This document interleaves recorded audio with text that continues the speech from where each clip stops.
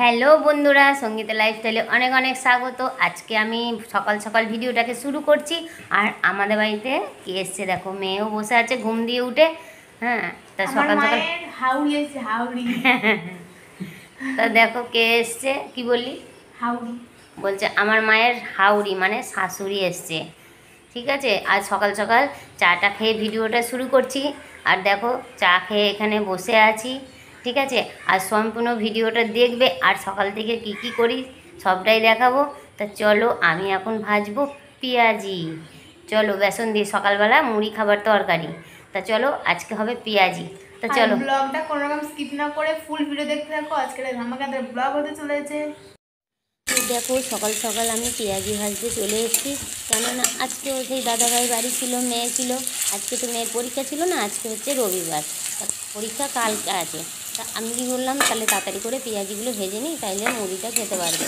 আর এমনি চাটা খেয়ে বসেছিলাম, বেলাও হয়ে যাবে, তাহলে ওদের খিদে পেয়ে যাবে। ওর জন্য আমি পেঁয়াজি আর পেঁয়াজিগুলো কত সুন্দর হয়েছে, তাই দেখো, লাল লাল করা ভাজা হয়েছে। আর আমার পেঁয়াজি ভাজা হয়ে গেছে। আর দেখো, আমি তুলে নিচ্ছি। দেখো, কত সুন্দর ভাজা হয়েছে পেঁয়াজিগুলো। দেখে তো আমার লোভ লাগছে, কি বলব? আমার আর তস হয়েছে না, বললাম তাড়াতাড়ি করে আমি খেয়ে নেব। আর মেয়েকেও ডাকলাম, মেয়ে বলল, দাও, আমি তুলে দিই। তাই ও আবার একটু রান্নাঘরে চলে এলো পেঁয়াজি তুলতে। তো দেখো, আমি মুড়ি টুড়ি খেয়ে সকালবেলা চান টান করে আমি রেডি হয়ে গেছি। আর রেডি হয়ে বললাম চয় যাই একটু বাজারে, আজকে তো একটু রবিবার, একটু চিকেন না আনলে মানায়। তাই আমি রেডি হয়ে গেলাম। তো মেয়ে বলল, তাহলে যাও তাহলে বাজারে। আমি চললাম এখন বাজারে। তা দেখো ব্যাগ ফ্যাগ কোথায় আছে? আমি বললাম ব্যাগ দে। তো ব্যাগ নিয়ে আমি এখন ব্যাগটা খুঁজে বেড়াচ্ছি। আর দেখো বাজার দিয়ে চলে এসেছি আর আলু মাংস চিকেন এনে আমি মাংস আলু ভাজা চাপিয়ে দিয়েছি। দেখো আলুগুলো আগে আমি প্রথমে ভেজে নেব। আলুগুলো ভেজে নিলে হবে? সেই কড়াইতে আর কি আমি ইয়েটা ভাজবো চিচিঙ্গা। আমি মাংসটাকে ধুয়ে নিচ্ছি আর মাংসগুলোতে কেমন একটা নোংরা ছিল বললাম ভালো করে একটা একটা করে ধুয়ে নিই। আর মেয়ে, কী বলো তো ওই মেয়েটা এইসব খায় না, ওর জন্য আমি একটু সলিড মাংস নিয়ে এসেছি তা মাংসওয়ালা বললাম, আর পাশে পেঁয়াজ আমি কেটে নিয়েছি। দেখো, পেঁয়াজ কেটে আমি কড়াইতে চিচিঙ্গা ভাজছিলাম আলু ভাজা করে। চিচিঙ্গা চেনো তো। বাজার থেকে আজকে চিচিঙ্গা এনেছি আর দেখো, আমার আলুগুলো ভাজা দিয়েছি ভাজা হচ্ছে আর মাংসর জন্য দেখো আমি জিরে, লঙ্কা, আদা এসবটা বেটে নিয়েছি। আর বেটে মাংসটাকে হলুদ মাখিয়ে রেখে দিয়েছিলাম আর দেখো আমি মশলাটাকে দিয়ে আমি সারা বাড়ি মাখিয়ে রেখে দেবো একটুখানি। দেখো আমি হলুদ আগে মাখিয়েছি, আর এখানে ভাবছি চিচিঙ্গা। দেখো চিচিঙ্গা আমি আজ অনেকদিন বাদে চিচিঙ্গা না আমি চিচিঙ্গা খেতে খুব ভালোবাসি। আজকে মাছের দিন পেলাম না, ওই জন্য বললাম সেদিন করে দিই। আমি একটু জিরে পাঁচফোড়ন দিয়ে চিচিঙ্গাটা ভেজে নিচ্ছি। তা দেখো, আমি তেলে জিরে দিয়ে দিয়েছি, আর আমি মাংসর জন্য ওই কড়াইতেই তেলে জিরে দিলাম আর আলুগুলো ছেড়ে দিলাম। আর নাহলে মাংসটা দিলে কী হবে?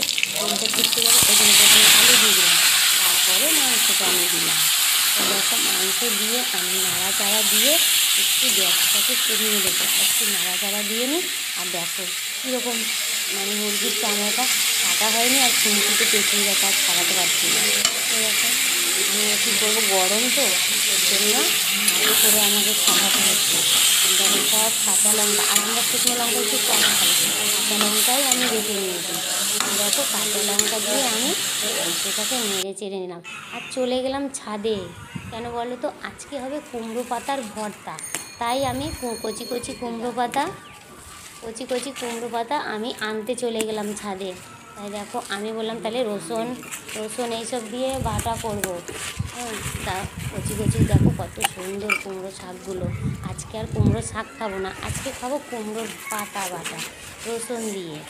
তা দেখো কত সুন্দর হয়েছে, আমি কিছুটা কুমড়োর পাতা তুলে নিচ্ছি। আর আমি ছাদ থেকে চলে এসেছি, আমি মাংসটাকে চাপিয়ে দিয়ে দিয়েছিলাম গ্যাসটাকে কমিয়ে দিয়ে ততক্ষণ কুমড়ো পাতা আনতে গিয়েছিলাম আর এসে আমি ঢাকনা তুলে আবার একবার নাড়াচাড়া দিয়ে নিচ্ছি। আমি মাংসটা তো একটু হতে দেরি লাগে। কষাতে ওর জন্য আমি একটু গ্যাসটা কমিয়ে দিয়ে ছাদে গেছিলাম কুমড়ো পাতা আনতে। দেখো, আমি মাংসটাকে কত সুন্দর কালার এসছে। আর দেখো, যখনই দেখব যে তেল ছেড়ে দিয়েছে, তারপরে আমি জল দেবো। আর দেখো কত সুন্দর আমি আর একবার একটু নেড়ে চেড়ে নেব। দেখো, আমার মাংস কষানো হয়ে গেছে আর আমি দিয়ে দিচ্ছি জল। দেখো, আমি জল দিয়ে দিচ্ছি আর মেয়ের জন্য আমি মানে কষা মাংস রেখেছি। কেননা ও তো টিউশনি করছে, ঘরে মাস্টার এসছে, তার জন্য ওর জন্য দেখো তিন চার পিস মাংস উঠিয়ে রেখে দিয়েছে। আর আমিও একটু চেখে দেখলাম যে কেমন হয়েছে, নুন ঝাল হয়েছে তো না, দেখছি খুব টেস্ট হয়েছে। ওখানে আমি মুখে দিয়ে দেখলাম, দেখছি না খুবই সুন্দর হয়েছে। আর দেখো, আমার তরকারিও ফুটে গেছে। খুব সুন্দর দেখো জলটা টেনে গেছে। মানে বেশি ঝোলও করব না, আবার কিছু কষাও করব না। একটু গায়ে গায়ে করব, দেখো মাংসটা আমি নামিয়ে নিয়েছি, আর কত সুন্দর কালার হয়েছে, দেখো। আর দেখো কুমড়ো কাটার জন্য আমি মোটা মোটা করে পেঁয়াজ কেটে নিয়েছি। আজকে আমি পেঁয়াজ দিয়ে, রসুন দিয়ে, কাঁচা লঙ্কা দিয়ে কুমড়ো পাতার ভর্তা করব। আর কুমড়ো দেখো সব কিছু আমি কাঁচা লঙ্কাগুলোও দিয়ে দিলাম, আর রসুনও দিয়ে দিলাম। এইগুলো আমি ভাজা করব আর মানে রসুন ভাজা হয়ে গেছে আমার, পেঁয়াজ ভাজা হয়ে গেছে। তারপরে আমি কুমড়ো পাতাগুলো দিয়ে দিয়েছি। দেখো কুমড়ো পাতাগুলো দিয়ে দিয়েছি। দেখো, আমি পাতাগুলো দিয়ে কত সুন্দর হয়ে গেছে আর পাতায় একটু কি জল বেরিয়েছে?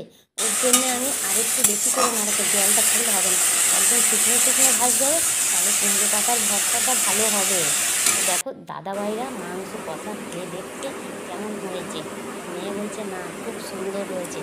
তো তোমাদের দাদা ভাই আর মেয়ে দুজনাই কষা মাংস খাচ্ছে। বললাম যে, দেখো, খেয়ে নুন, ঝাল কেমন হয়েছে? দিয়ে ওরা বলছে যে, না। মেয়ে বলছে, না, ঠিকই হয়েছে। দেখো, আমি কুমড়ো পাতাটা আর রসুন, পেঁয়াজ সব ফোটোতে দিয়ে